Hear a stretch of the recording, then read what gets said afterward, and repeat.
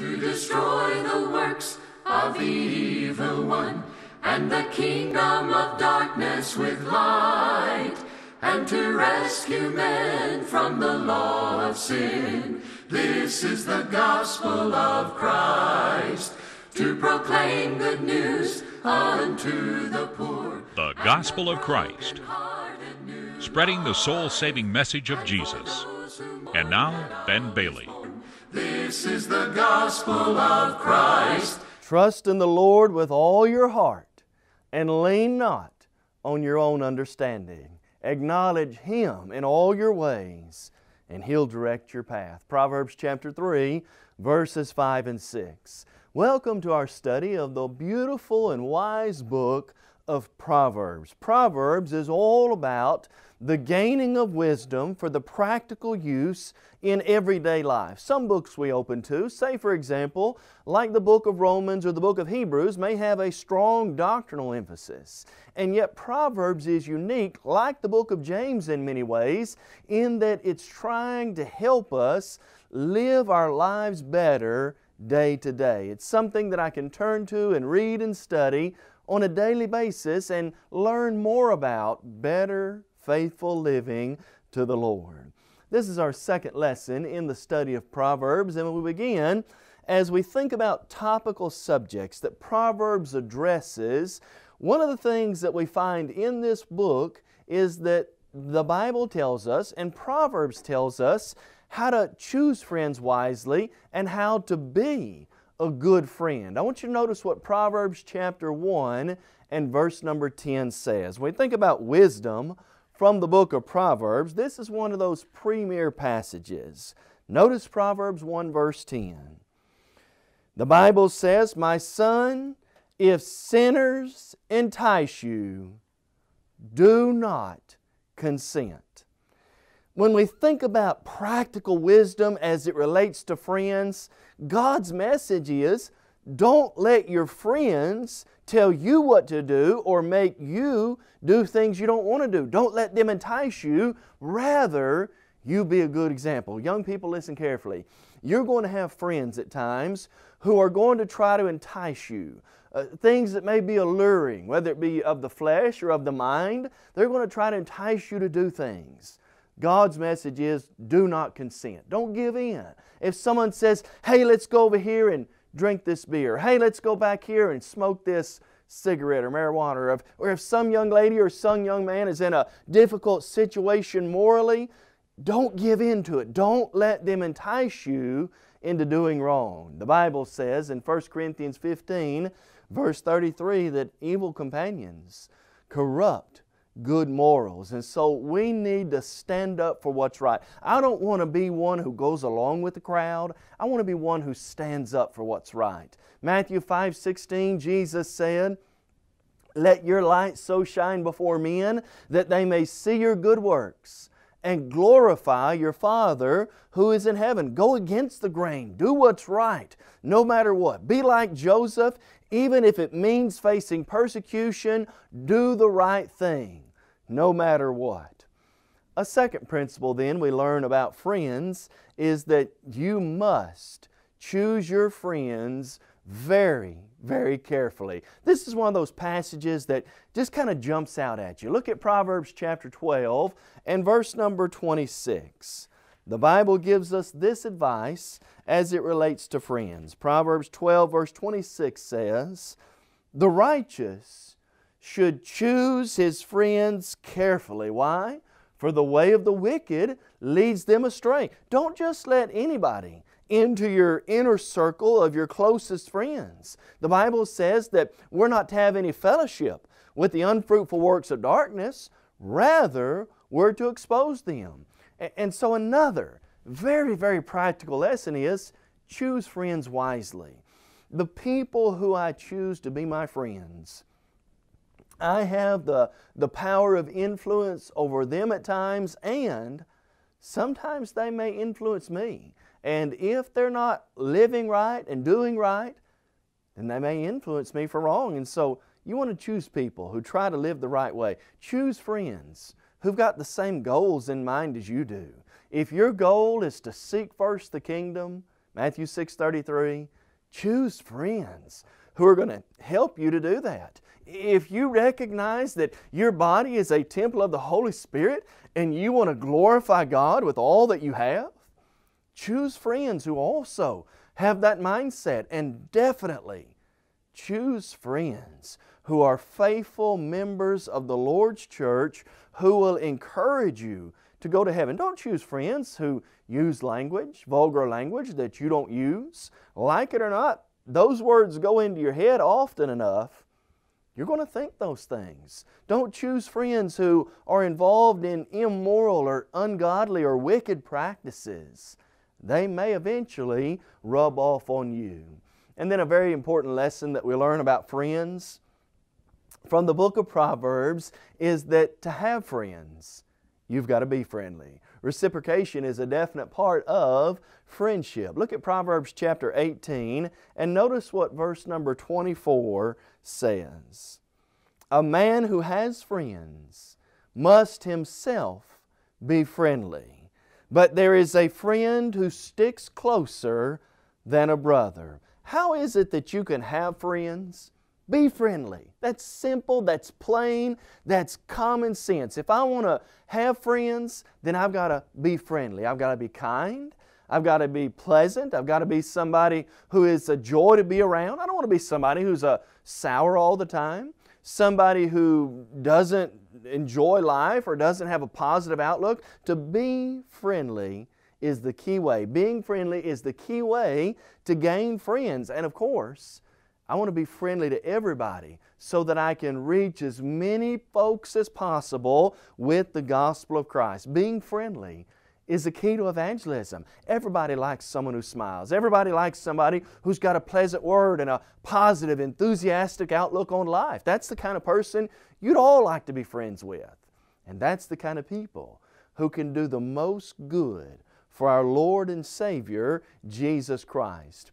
Then, as we study subjects in the book of Proverbs that are very practical for Christian living, we think about what Proverbs has to say concerning parenting. In a day and age where the home is under attack, when parents sometimes aren't the parents they ought to be, and sometimes even the child is more responsible than the parent, and in homes when there's single parents. What does God's Word have to say practically about parenting. First and foremost, the Bible teaches us that parents must train their children. Look in Proverbs chapter 22, verse number 6. The Bible says, Train up a child in the way he should go, and when he is old, he'll not depart from it. As a general principle, if you train children in the right way, they'll stay true to that path. And so the parent's responsibility and the emphasis from this passage is the training.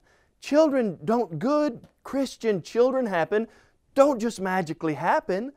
They're trained in the nurture and admonition of the Lord. Ephesians 6 1 through 4. They grow in the grace and knowledge of our Lord and Savior. 2 Peter 3, verse 18. If the Word of God and good Christian role models of living for Christ are seen every day, that's how you train children to love the Lord their God with all their heart, soul, mind, and strength. Another principle about parenting that we learn from the book of Proverbs, and this is really what we're trying to stress, is that discipline Training and discipline are both essential to making and producing godly children. I want you to take just a moment and follow with me as we think about what the Bible says concerning discipline as a part of training. The first passage is found in Proverbs chapter 13, and I want you to notice what verse number 24 says. The Bible says, He who spares his rod hates his son, but he who loves him disciplines him promptly. Long ago, Dr. Spock said, and many people bought into it, that if, if you spank your children, you're going to squash their little spirits and you're going to do untold damage to them. He later recanted that and even himself said it was wrong and one of the great disasters to the American home and family. But the damage was in many ways done. But friend, all along, God had said, if you spare the rod, in essence, you're going to lead your son to destruction. You know, you know, we hear the phrase, spare the rod and spoil the child. That is not in the Bible, but it likely is found in Proverbs 13, verse 24. If you, the Bible says, he who spares his rod hates his son. That's kind of the idea. And so God says discipline is essential in training. Now, I want you to notice another passage in Proverbs chapter 19, verse number 18. The Bible says, in Proverbs chapter 19, verse 18, Chasten your son while there is hope, and do not set your heart on his destruction. Chasten, correct, discipline is the idea. Discipline him while there's hope, while they're still fashionable and moldable. As young children, they need to be corrected if children do things that are not according to the will of God in that training period, sometimes discipline, sometimes even spankings are necessary for helping them to be the people God wants them to be. Now, turn your attention to Proverbs chapter 22, verse number 15. The Bible says, Foolishness is bound up in the heart of a child, but the rod of correction will drive it far from Him. All of us can think of times in our own life where, as a child, maybe we did things that were highly foolish, and, and maybe at times we just weren't even thinking about what we were doing, just out there having fun and doing things and never really considered the consequences or responsibility. Sometimes foolishness is bound up in the heart of the child. It's almost kind of natural sometimes when kids have that knack, but the Bible says the rod of correction will drive that far from them.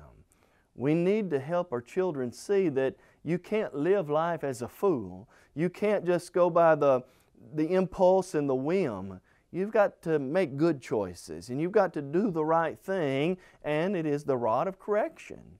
Discipline, training, spankings that will help with that. Now, another passage, and listen to the language of Proverbs 23, verses 13 and 14. The Bible says, Do not withhold correction from a child, for if you beat him with a rod, he will not die. You shall beat him with a rod and deliver his soul from hell. Now, when God here, when the proverb writer in the language speaks of beatings, we're not talking about physical abuse in the sense of someone actually causing harm, uh, beating up on somebody in that sense. Rather, this would be parallel to our word of spanking or paddling if you spank your child, he's not going to die. It may seem like it at times, but it's not going to kill him. Rather, God says you'll save his soul. A lot of people say, don't spank your children. If you spank them, you don't really love them. You know what God says? God says the exact opposite of that. God says if you spank them, you'll help them on their journey to heaven. You'll teach them and enforce and impress upon their mind what's right and wrong, and that discipline will remind them hey, there's a boundary here, there's a guideline, and I must not go beyond that. Proverbs 29, verse 15 is the last passage concerning discipline that I want you to look at. Notice what the Scripture says The rod and rebuke give wisdom, but a child left to himself bring shame to his mother. Correcting, discipline, spankings, those are not bad things. What's bad? Children that are just left to themselves. Children that virtually have no training, that although a home may be provided, although clothing and meals may be provided, in learning how to live, they basically raise themselves. Friend, listen carefully. If you don't train your children, someone will and you don't want, I'll guarantee you, if you live by Christian principles, you don't want the public school system training your children.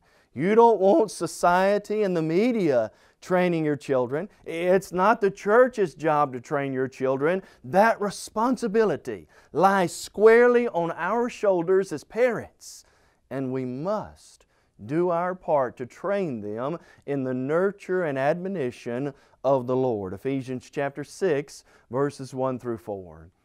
Another subject that the book of Proverbs deals with relates to husbands and wives and the, the creating of good marriages and good relationships. What does the Bible say about how to have a happy and healthy marriage relationship?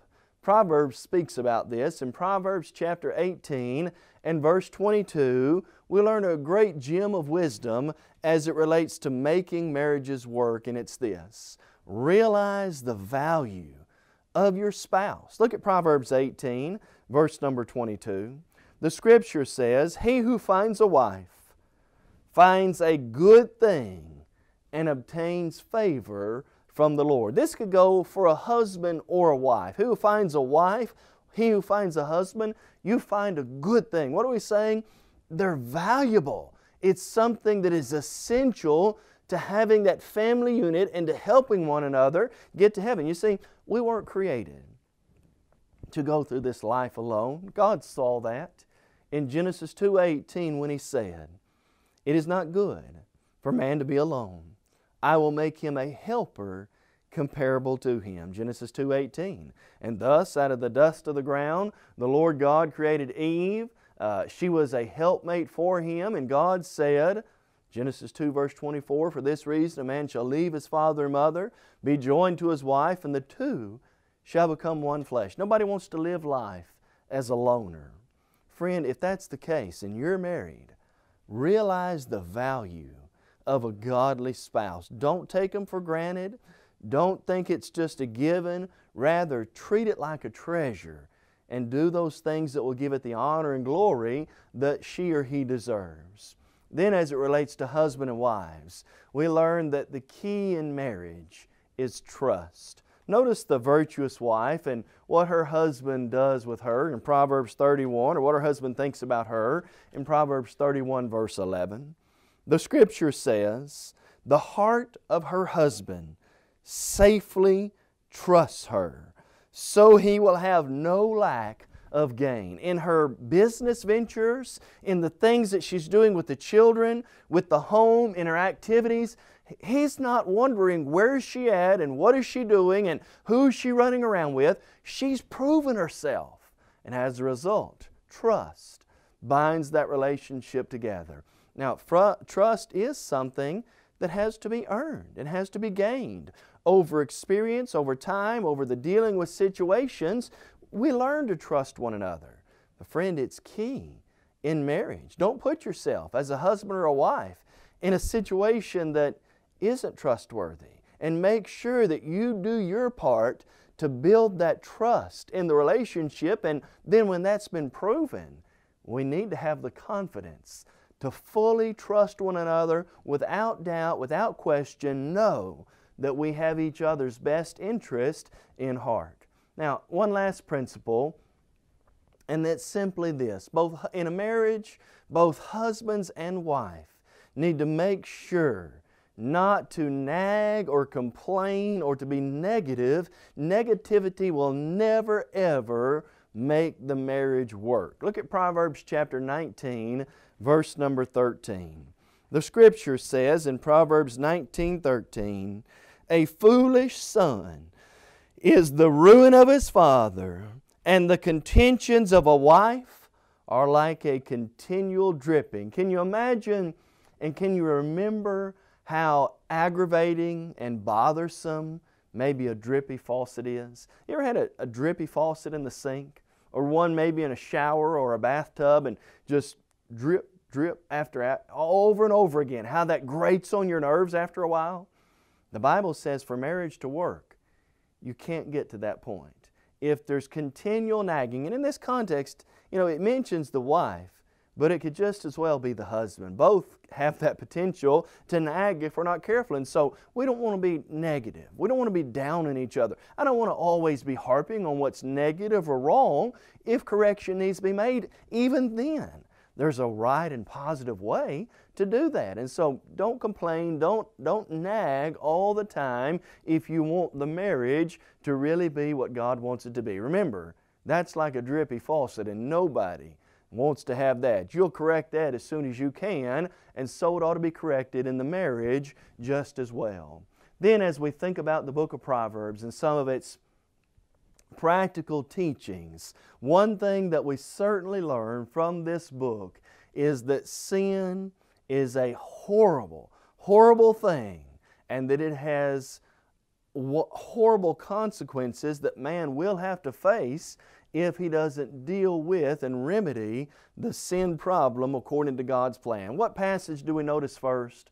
I want you to look at Proverbs chapter 14 and verse number 9. The Bible says in Proverbs chapter 14 verse 9, Fools mock at sin, but among the upright there is favor. First and foremost, as it relates to sin, we learn that, that sin is not a laughing matter. Friend, this will tell you how far we've come in society.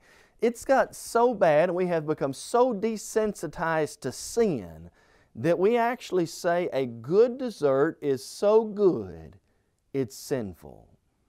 Friend, if we really understood what that means and what the consequences of that are, you'd never designate sin as a descriptive word for anything pleasurable. And so when we think about sin, let's realize sin's not a laughing matter. Oh, society may laugh at it, people in the world around us may laugh at it, and they may say, Come join us in this sin. But friend, let's realize sin's not a laughing matter because sin is what sent the Savior to the world to suffer and die for mankind. Is it a laughing matter when you think about what Jesus had to endure? Is it really that funny when you think about what the Savior went through so men could be forgiven of their sin? Secondly, from the book of Proverbs, we learn that man alone, he's incapable of dealing with the sin problem by himself. Look at Proverbs chapter 20 and verse number 9. Proverbs chapter 20, verse number 9 says this who can say, I have made my heart clean, I am pure from sin? Now, the question is not who can be clean from sin and who can be pure from sin, but the question is who can say, I've made my heart clean, I am pure from sin. The emphasis is upon the individual making himself clean from sin. And of course, no one can say that. Romans 3.23, the Bible says, all have sinned and fallen short of the glory of God. The Scripture teaches there's, not, there's none righteous, no, not one. Romans 3 verse 10. And in the long ago, the great prophet Jeremiah taught us that man can't save himself from sin. Do you remember Jeremiah 10 verse 23? Jeremiah said, O Lord, I know the way of man is not in himself, it is not in man who walks to direct his own steps. Man can't deal with the sin problem, and thus we need a Savior. You shall call His name Jesus. He will save His people from their sins. Matthew 1, verses 19 through 21. Without the shedding of blood, there's no forgiveness of sins. Hebrews 9, verse 22. And yet Jesus said, as He instituted the Lord's Supper and the taking of the Passover, this is my blood of the new covenant shed for many for the forgiveness of sins. Matthew 26 and verse 28. And friend, that leads us to the final thing that the book of Proverbs says on the subject of sin and its consequences. I want you to notice Proverbs chapter 28 and verse number 13. That's Proverbs 28, verse 13. Scripture says, he who covers his sins will not prosper, but whoever confesses and forsakes them will have mercy. How do you deal with the sin problem? If you try to cover it, you're not going to prosper. That means that you can't sweep sin under the rug. You, you can't ignore it and act like it isn't there. You can't think that you're bigger than sin. Doesn't take care of the sin problem in dealing with it that way. And so covering the sin is not an option. And here's the reason it's not an option. No matter how hard you cover it, how deep you dig that hole, you can't hide it from God. All things are naked and open before the eyes of Him with whom we must give an account.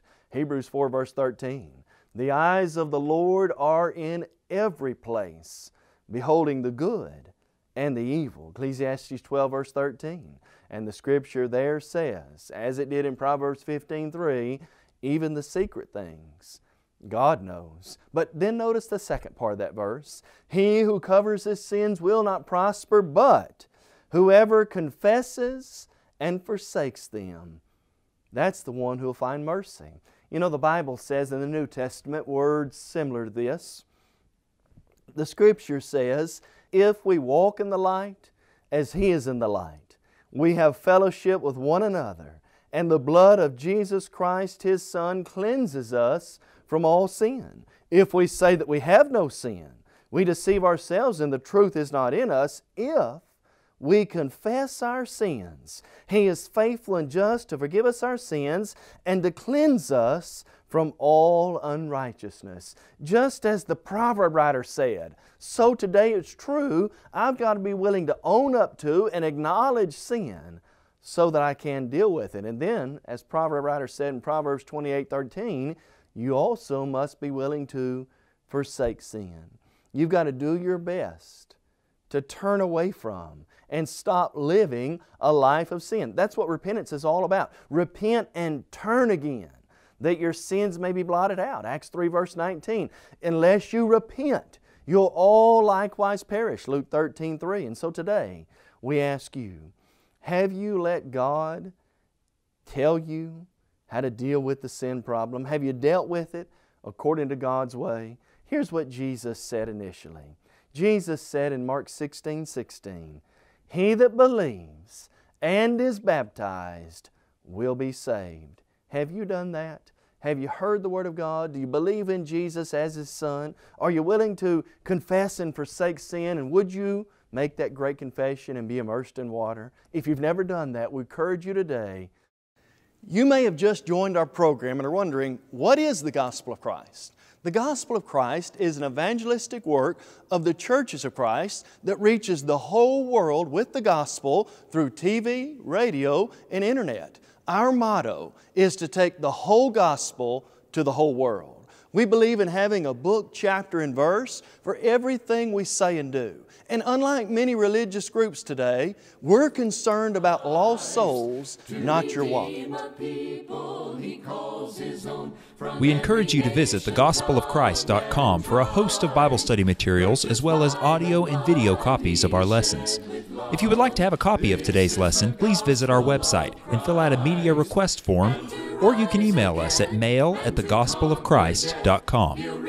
Call us toll free at 1 855 458 3905 or write to us at P.O. Box 788, McMinnville, Tennessee 37111. be the glory, and to God be the glory, and to God be the glory. This is the gospel of Christ, and to God be the glory, and to God